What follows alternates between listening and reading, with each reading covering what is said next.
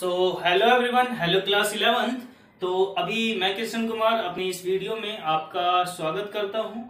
तो अभी हमारे पास जो चैप्टर है इकोनॉमिक्स का न्यूमेरिकल पार्ट्स में नेक्स्ट चैप्टर है मेजर सेंट्रल टेंडेंसी का मीडियन एंड मोड मैंने कहा था मेनली जो हमारे पास तीन टाइप्स की हमारे पास मेजर सेंट्रल टेंडेंसी आएगी। मीन मीडियन मोड जिसमें से मीन आपका कंप्लीट हो चुका है। अभी यहाँ पर जो बेस चलेगा, वो मीडियन का चलेगा ओके और बाद में डिस्कस करेंगे हम मोड के ऊपर, ठीक है? तो अभी हमारे पास मीडियन देखिए।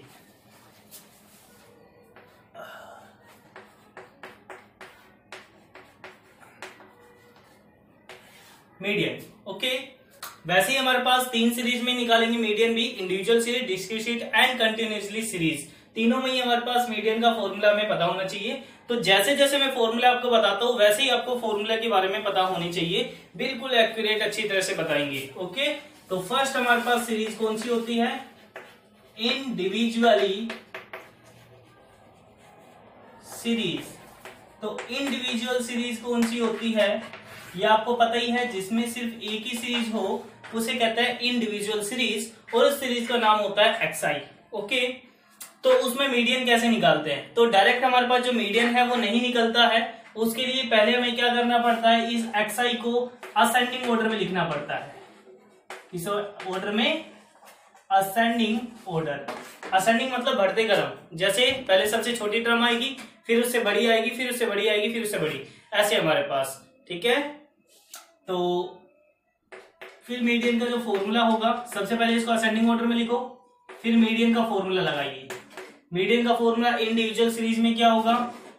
N plus one upon two th term मैं कंप्लीटली इसको लिख देता हूँ।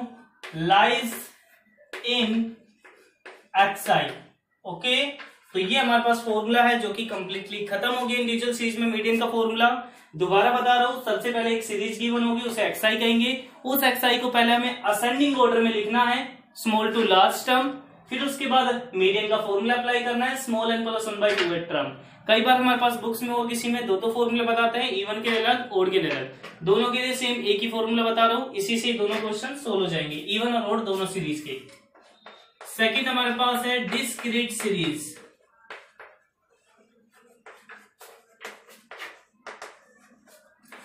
इसमें दो सीरीज़ होती है, एक तो एक्स आई और दूसरी एफ़ आई एफ़ आई से हम निकालते हैं सी एफ़ सी एफ़ यानी कि क्यूमुलेटिव फ्रीक्वेंसी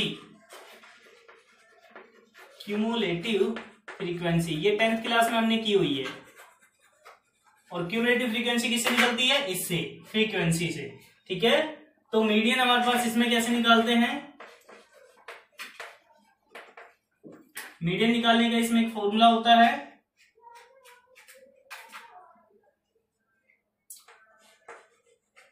मीडियन इजिकल्स टू ठीक है?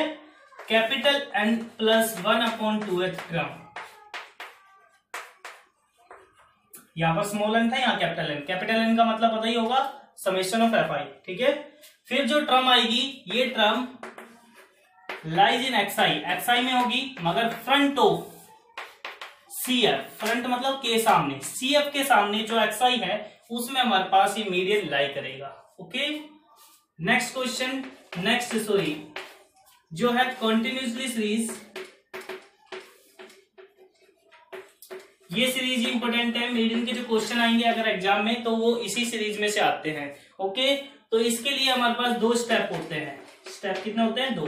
स्टेप नंबर वन पहले हमारे पास मीडियन नहीं निकलता इसमें डायरेक्ट पहले मीडियन टर्म निकलती है। मीडियन टर्म और मीडियन टर्म का फॉर्मूला होता है N by two th term तो N by two th term lies in C F ये सी एफ़ में लाई कर दी है, इससे एक मॉडल क्लास आ जाती है हमारी। मॉडल क्लास उसको हम मॉडल क्लास भी कह सकते हैं मॉडल ग्रुप भी कह सकते हैं। ठीक है? अब ये मॉडल ग्रुप आने के बाद फिर सेकंड स्टेप लगाना है। मीडियन का जो फॉर्मूला होगा मीडियन इजिकल्स टू वो होगा L plus N by two minus C F upon F one into H यहाँ पर आप एच भी लिख सकते हो, इसके अपोजिट में आई भी लिख सकते हो। आई का मीनिंग भी वही होता है, ठीक है? तो यहाँ पर मैं बता देता हूँ आपको एफ़ वन क्या होता है? ये होती है frequency term frequency term frequency term lies in modal group जो कि मॉडल ग्रुप में लाई करेगी। या मॉडल क्लास कुछ भी कह लो आप, ठीक है? ये। इसके बाद F1 के बाद हम ले लेते हैं L.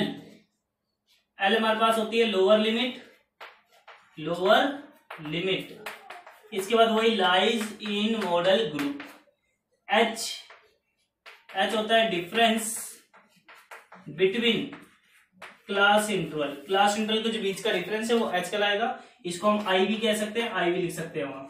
इसके बाद हमारे पास मैं बता देता हूँ आपको सी एफ़ सी एफ़ हमारे पास एफ़ वन से आएगा।